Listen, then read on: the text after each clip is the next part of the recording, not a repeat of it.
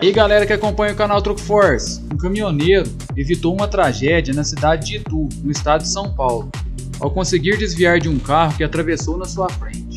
Por sorte pela habilidade do caminhoneiro, ninguém ficou ferido. Canal Truck Force, o canal dos caminhões.